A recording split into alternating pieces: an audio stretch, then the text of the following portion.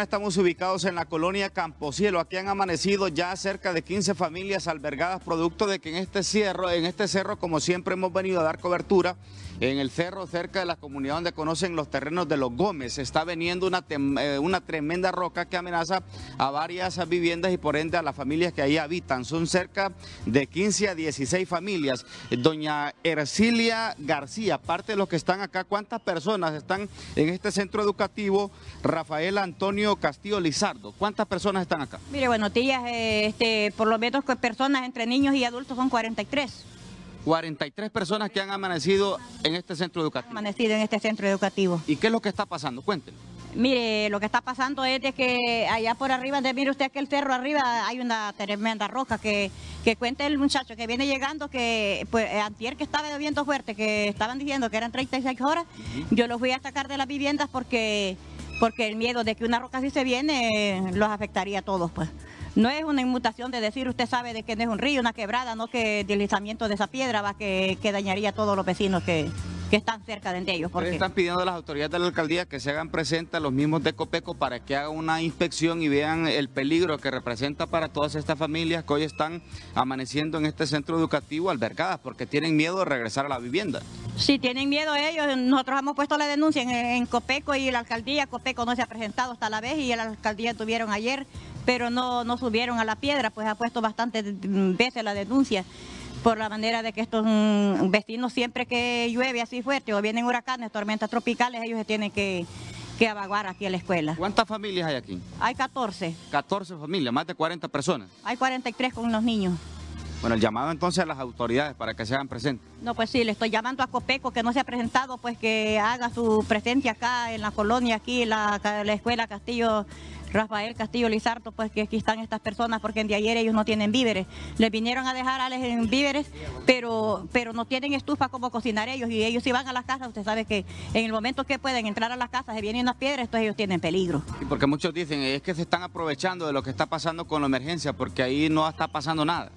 Sí, bueno, entonces de ir al punto de la emergencia para que se comprueben de que la cosa es cierto. No están, porque no, no creo, no, no creo yo ustedes, de que ustedes vecinos como ustedes están presentes, no creo que ustedes quieran estar acá. No quiero no creo que ustedes quieran estar acá, Wilson.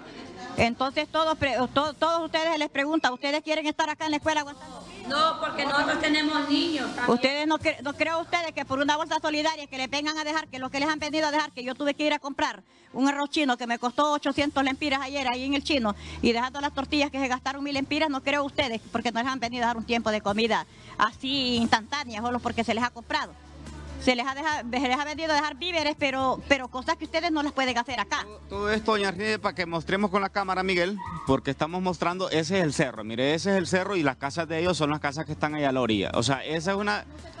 Sí, ese es, el, el otro lado, o sea, el tremendo, aquella piedra que se ve al fondo es la piedra que está rajada y es la que se viene para este sector. Y si se viene esta piedra, pues ni quiera Dios, porque son varias familias que peligran y, esto va a ser una catástrofe. Al internado de monjas, bueno, pasaría de ahí, dale, porque esa piedra es tremenda. La vez pasada derramaron una, pegaron a las casas de arriba, pegó la otra y solo la tocó medio medio a una muchacha que estuvo interna en el hospital escuela.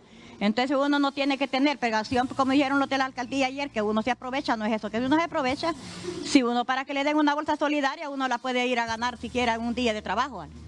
Bueno, vamos a estar pendientes. Acá hay 14 familias que han amanecido, miren, 14 familias, niños y adultos. Hay acá 14 familias, 43 personas en la colonia Camposielo porque esa roca está rajada y está cediendo poco a poco. Han hecho el llamado a Copeco a las autoridades.